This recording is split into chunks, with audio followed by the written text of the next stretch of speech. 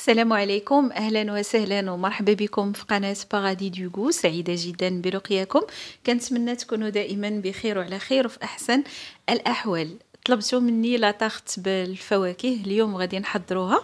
فأي وصفة طلبتوها فغير تتاح ليا الفرصة بإذن الله.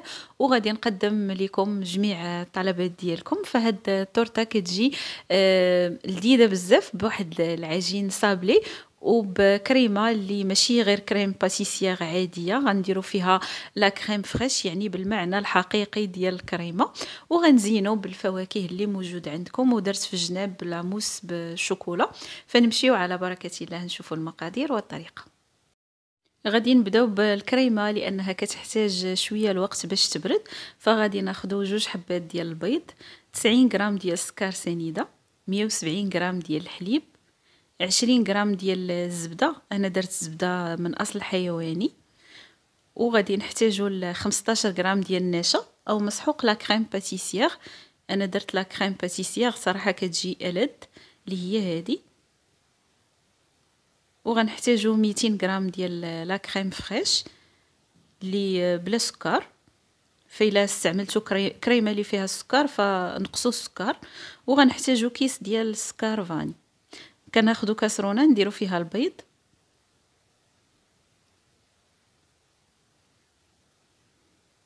السكر الحليب.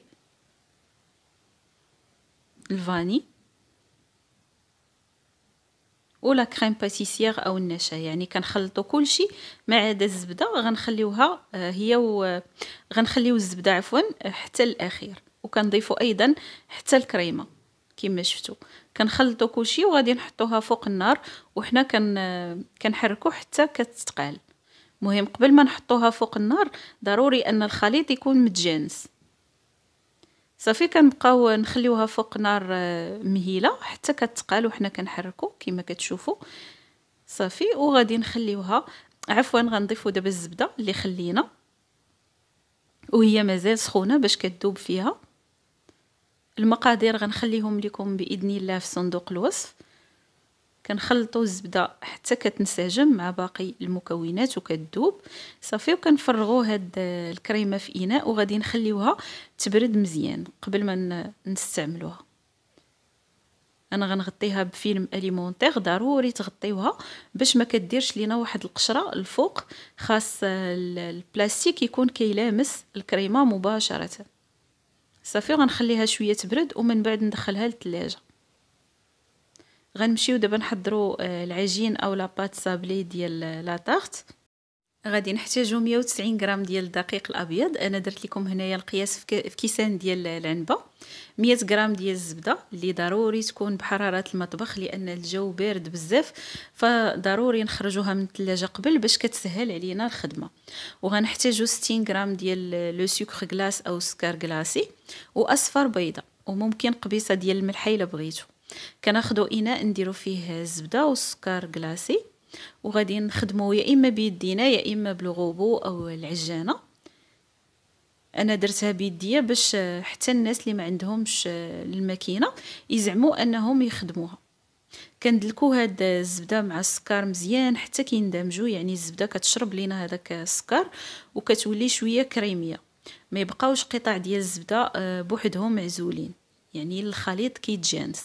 من بعد غنضيفو أصفر بيضة. وكنعاودو نخدمو بيدينا.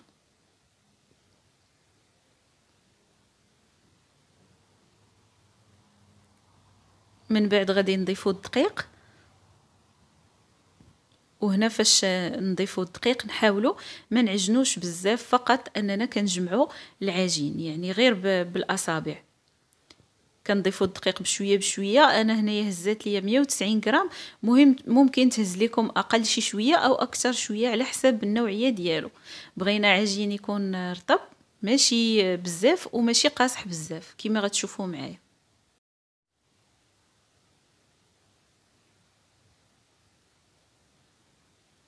أنا درت 190 غرام ديال الدقيق كلها.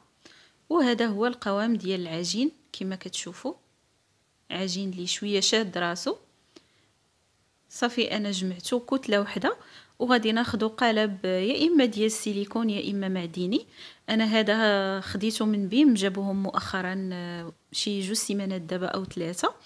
آه هاد القالب إلا كان ديال السيليكون وكان جديد كندهنوه بالزيت قبل ما نطيبو فيه أول مرة. فملي كنجيبوه كنغسلوه بالماء غليان والصابون ونشفوه.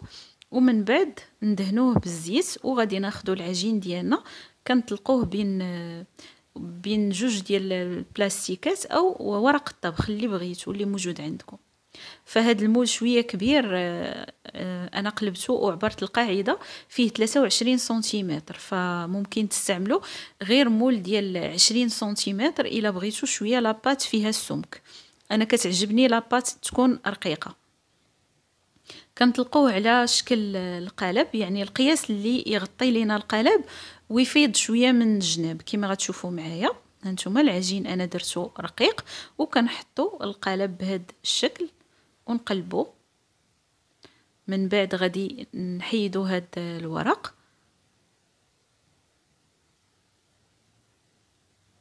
وغادي ننزلو آه، العجين. ننزلوه للقاع بحال هكا. من ما نبقاوش نجبدوه يعني العجين ينزل وهو مرتاح. صافي وضروري يكون فائض ديال العجين في الجناب باش نقطعوه وكيجينا الشكل ديال لاطاغت مقاد. هنا أنا كنقاد حتى الجناب كنثبتو. صافي وكناخدو سكين فغير كندوزوه بحال هكا العجين كيتقطع بكل سهولة يعني ما كنحتاجوش أننا نضغطو.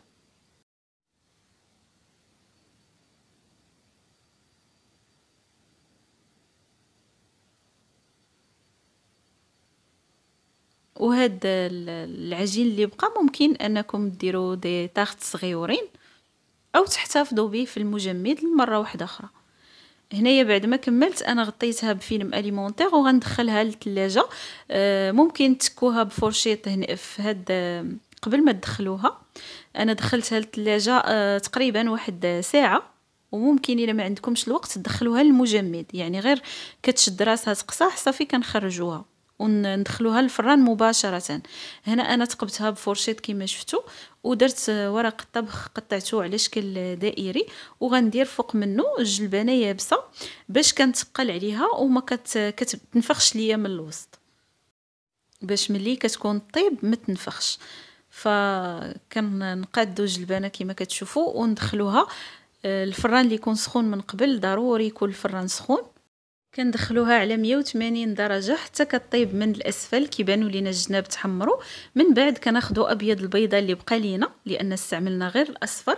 كنطربوه مزيان وغادي ندهنوا به الوجه ديال هاد لاطاخت ندهنوها مزيان وغادي نرجعوها للفران تحمر غنشعلوا عليها هاد المرة غير من الفوق ونخليوها حتى كتحمر من الوجه ديالها كذلك باش كتجينا العجينة طيبة مزيان ومحمرة. وبحال اللي كنديروا واحد الطبقة مشمعة يعني ملي كنديروا الكريمة ما كيبقى العجين مقرمش croustillant ما كي ما كيرطابش هنايا من بعد ما بردات حيتها أنا درتها في طبسيل وغادي ناخذ آه، فواكه للتزيين على حساب اللي موجود عندكم. أنا درت الموز قطعته دوائر وغندير عليه عصير ديال الحامض باش ما يكحلش ليا لأني غنخليه مازال واحد شوية حتى نوصل ليه. وغادي نضيف ليه أيضا واحد ال sachet ديال السكر vanillé كتبقى اختيارية إلا بغيتو ديروها.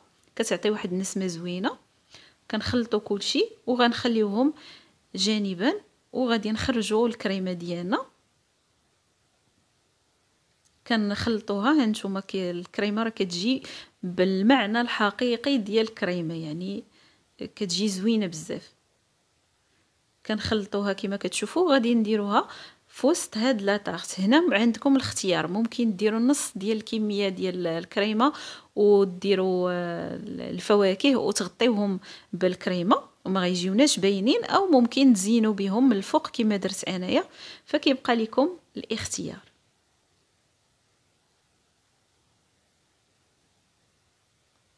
نحاولوا نقادوها.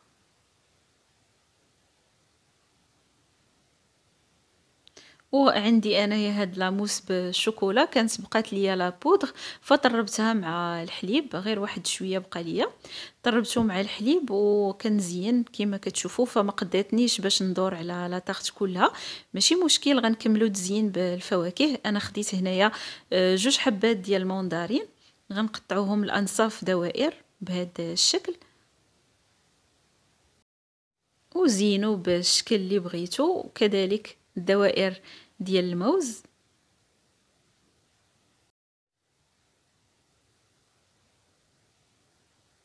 صافي وهذا هو الشكل ديال الوصفة ديالنا ديال اليوم. كنتمنى أن الوصفة تعجبكم وتجربوها بصحة وراحة. شكرا لكم على حسن المتابعة وإلى اللقاء مع وصفة جديدة بإذن الله.